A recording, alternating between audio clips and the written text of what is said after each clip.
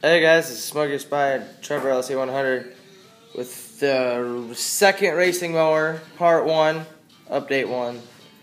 Uh, well, I've done a lot to it. I had an 18 horse twin, but I could only get a 16.5 for it. Took the trans out, Well, which has the same If you would have paid me good money, I could have given my 20 twin. douchebag. But uh, that transmission is the same as the one on the John Deere, so I'm probably gonna switch that out one of these days. Uh, the seat used to sit up on this level. I dropped it way down. What is tape measure? Right behind you. It is. Actually, with the springs, you would sit at least that high up, up, up of it. Dang it! Don't even get a foot up. So I lowered it. That's about nine inches. So I exactly a foot from where your hand was. Uh, at least a foot. So I lowered the seat at least a foot, dropping the frame way down. The frame's gonna be Or at least. like four inches off the ground. See where it sits right here? That isn't four inches. That isn't the frame. The frame is right here. So I'm gonna chop it right there. So I got the bottom plate not in there. Um, one sec.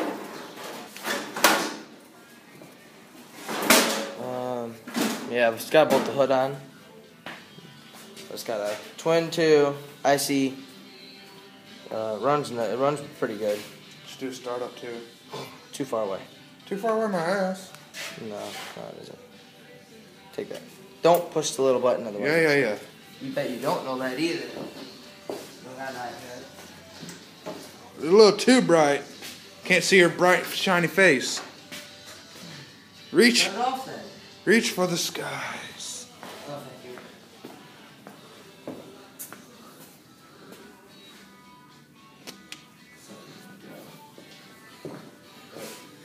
Sits real low. Uh, got a PLS 700. Gonna have a PLS 700. I got half of one. A half. But I don't have the other half, which I need that. Redoing the wiring. Getting dropped. Billet flywheel, everything, we can soup it way up. New rims, tires.